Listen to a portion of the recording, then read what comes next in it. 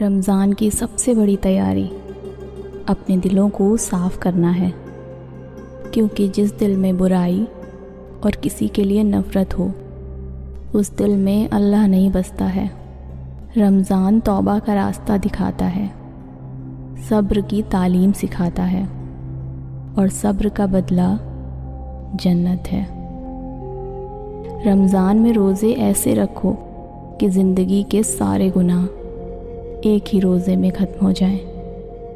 क्योंकि रमज़ान सबको नसीब होता है। लेकिन रोज़ा रखना हर किसी को नसीब नहीं होता। Hello everyone thank you for watching this video आपको ये वीडियो कैसा लगा मुझे कमेंट में ज़रूर बताएँ। अगर ये वीडियो आपको पसंद आई है तो वीडियो को लाइक करना और चैनल को सब्सक्राइब करना बिल्कुल मत भूलें। Thank you